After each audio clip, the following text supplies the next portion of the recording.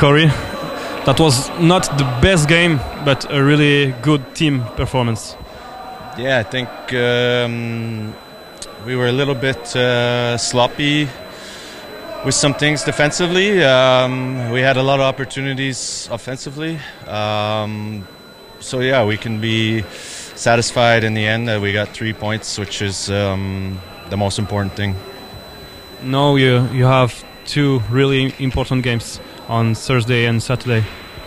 Yeah, I think our goal should be uh, this week three games and, and nine points. Uh, that's our our goal for the week uh, to go into Christmas with a good feeling and um, try to make some separation from the teams because it's everybody is uh, really tight. So um, yeah, we'll we'll take this, but in 20, 30 minutes we need to forget and, and uh, to worry about the next.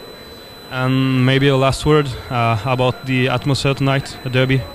Yeah, it's it's fun. Uh, a lot of emotion, you know. Um, both sides were, you know, getting a little bit frustrated. So uh, that's the the fun part of of, uh, of hockey is the physicality and uh, the fans getting into it and.